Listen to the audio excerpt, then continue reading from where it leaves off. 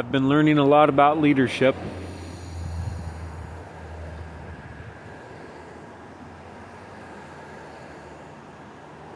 There has to be leadership, otherwise, nothing would ever get done in life. A wise person told me that yesterday, so I understand that. Another wise person told me that a good leader is like the conductor of an orchestra. They don't make a lot of noise, but they sure get everybody else to make a beautiful sound.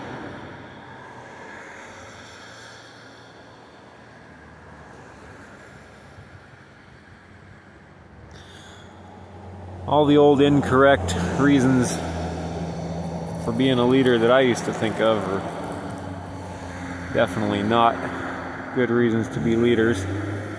Definitely not to make myself look better to others. Definitely not to make me feel better about myself, like I've accomplished something. Definitely not to boost my ego or my self esteem.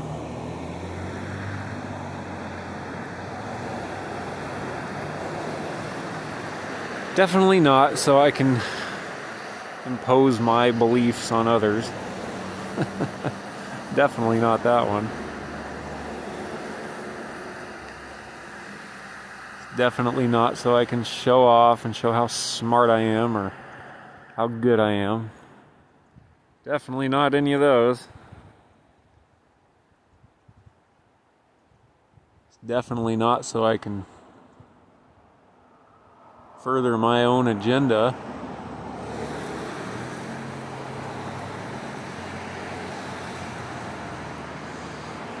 No.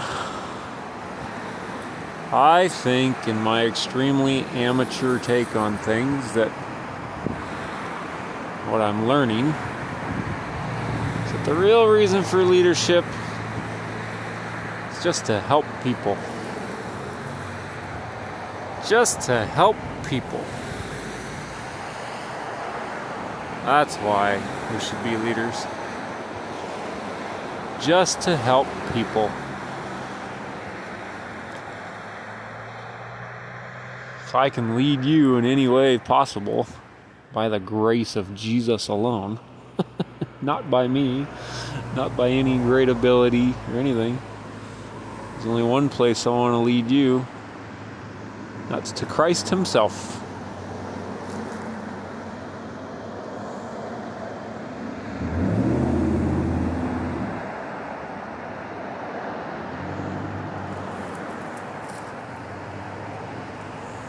What's the purpose of leadership? As far as I can understand it,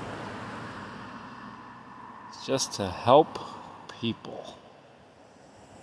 Just to help them. Just to love them.